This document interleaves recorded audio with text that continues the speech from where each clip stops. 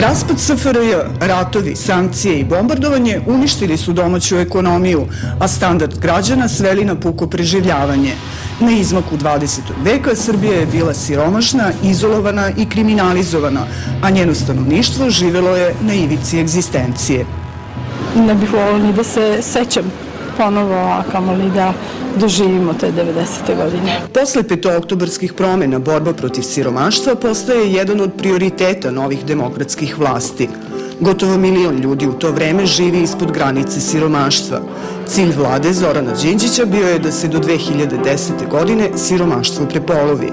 U oktobru 2003. usvojena je vladina strategija za smanjenje siromaštva.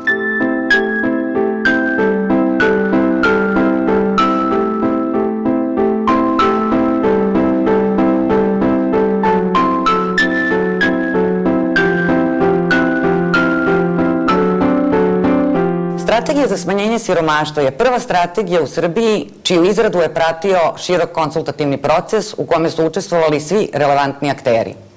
U procesu izrade strategije učestvovalo je više od 3300 ljudi. Izradu strategije Zoran Đinđić poverio Gordani Matković. Iako je strategija smanjenja siromaštva napravljena pre pet godina i sigurno je vreme da se prave neki novi dokumenti koji će se baviti ovim temama i siromaštvom i ugroženim grupama. E, čini mi se da o njenom kvalitetu zapravo svedoči činjenica da je e, konceptualno posmatrana ona i danas relevantna i aktuelna s jedne strane i s druge strane da je ostala da živi sve ovo vreme. Prvi put je jedna vlada, vlada Zorana Đinć je pozvala civilno društvo i organizacije da učestvuju na izradi jednog strateškog dokumenta. Znali smo da je zemlja siromašna i da je puno siromašnih, nismo znali sve oblike. Crvena nit je, su bila ljudska prava. Svoj fokus smo bacili na a, implementaciju ljudskih prava u taj dokument. Ono što strategiju za smanjenje siromaštva razlikuje od drugih velikih nacionalnih planova i programa jeste što ona u svom fokusu ima male ljude, ljude koji se često ne vide i ne čuju. Strategija za smanjenje siromaštva je upravo bila njihov program. U septembru 2004. godine pri kabinetu podpredsednika vlade Srbije formiran je tim za sprovođenje strategije za smanjenje siromaštva. Proces primjene ove strategije je bio drugačiji e, zbog toga što je vlada osnovala tim podpredsednika vlade za njenu primjenu, koji je dobio zadatak da pokuša da iskoordinira sve aktere koji su u njemu učestvovali znači od ministarstava, preko civilnog društva, poslovnih partnera, donatora, pa sve do lokalnih vlasti. Kad sve uvežete od korisnika do nevladinog sektora i vladinog sektora, tada lokalna zajednica može da se bavi smanjenjem siromaštva. Osim nadgledanja primene strategije, tim podpredsednika vlade pratio je i izveštavao o nivou siromaštva u Srbiji. U tome su tesno sarađivali sa Republičkim zavodom za statistiku. Naš doprinos je bio u tome da obezbedimo podatke, a tim je bio taj koji je praktično preuzeo na sebe ulogu koordinatora na nivou vlade Republike Srbije, jer ti podaci ne smeju ostati u fiokama, oni moraju biti dostupni svim korisnicima. Rezultati primjene strategije danas su vidljivi u mnogim oblastima. Pokrenut je niz programa za zapošljavanje i prekvalifikaciju, pružena je podrška razvoju privatnog sektora, unapređena je zdravstvena i socijalna zaštita najugroženijih, Realizovani su mnogobrojni programi za obrazovanje Roma, kao i programi za obrazovanje odraslih. Pružena je pomoć u formulisanju zakona i strategija neophodnih za sprovođenje reformi. Za poslednjih pet godina, kada su u pitanju stari, urađeno je mnogo, ali još uvek više od 130.000 starih ljudi živi ispod linije siromaštva, a tek svaki deseti od njih dobija socijalnu pomoć od države. Po odnosu na vreme kad je 2002. strategija, kad se uopšte započelo sa procesom izrade strategije i kada mladi praktično nisu bili prepoznati kao jedna od najvažnijih ranjivih grupa, Danas imamo uh, jedno od najvažnijih tela koje se bavi mladima, dakle Ministarstvo omladine i sporta, imamo usvojen uh, strateški, nacionalni strateški plan, akcioni plan, kancelarije za mlade u velikom broju gradova Srbije. Jedna od najvažnijih stvari koje su dobre kod strategije to je da je ona nacionalnog karaktera i da pripada građanima Srbije, a ni jednoj vladi posebno. Nezaposlenost je najveći problem u Srbiji. Iako je stopa nezaposlenosti smanjena, i dalje je ubedljivo najveća u regionu, budući da je bez posla 14% radno sposobnog stanovništva. Sa druge strane, životni standard zaposlenih je poboljšan. Od 2002. primanja su povećana dva i po puta, dok je pre pet godina gotovo četvrtina stanovništva Srbije smatralo da živi vrlo loše, danas se tako izjašnjava 15,4 od 100 građana. Mogu komotnije da živim, mogu da kupim nešto kućnih aparata, e, na nešto je tako. Ne mogu ništa životno da rešim, a ne oskudavam u onome što je normalno.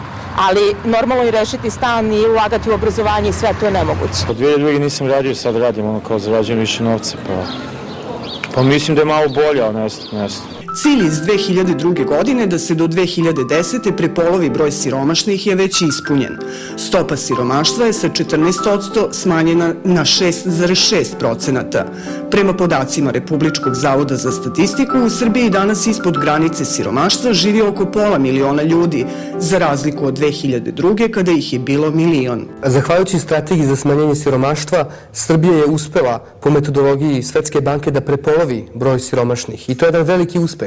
Sa druge strane, to je samo početak, jer i dalje u našoj zemlji živi preveliki broj ljudi koji nemaju pristup lečenju, obrazovanju, zapošljavanju, na način koji to moramo obezbediti. Prema najnovijim istraživanjima Zavoda za statistiku, među najsiromašnijima su i dalje seoska domaćinstva, neobrazovano stanovništvo, nezaposleni, stariji od 65 godina i deca. Posebno je ugrožena romska populacija. Ima e, napretka u sferi obrazovanja, ali s druge strane u sferi zapošljavanja i ekonomskog razvoja romske zajednice tu imamo jedan, jedan proces stagnacije koji već duže vremena traje i u ovom trenutku, dakle kada ovo govorim, veliki broj romskih naselja je bez struje. Svetska banka, Ujedinjene nacije kao i druge međunarodne institucije strategiju za smanjenje siromaštva ocenile su kao odličnu polaznu osnovu za poboljšanje kvaliteta života građana Srbije. Mnoge od njih pomogle su u izradi strategije, ali i njenom sprovođenju. The World Bank has supported many countries develop poverty reduction strategies with expertise and funds, and we did the same in Serbia. Serbia early on recognized that this could be a powerful tool for, for combating poverty and promoting growth. Uh, the implementation of the poverty reduction strategy has demonstrated that good intersectoral coordination and monitoring can demonstrate and lead to real results, such as the reduction in poverty that we've seen in Serbia in recent years. Uh, the British government, through DFID, has been very proud to support this process because it's demonstrated that the goals of EU integration and better social exclusion can be pursued at the same time. As you know, that one of the eight UN Millennium Development Goals is to halve poverty by 2015. And Serbia has already attained that thanks to the poverty reduction strategy. European integration is very much about increasing the well-being of people in Serbia and elsewhere in Europe. Therefore, the poverty reduction strategy has significantly contributed uh, to a key objective of European integration, which is improving social inclusion. Kao i u mnogim drugim državama, svetska ekonomska kriza otežaće dalju borbu protiv siromaštva u Srbiji. To je još jedan izazov za domaće vlasti i njihove inostrane partnere.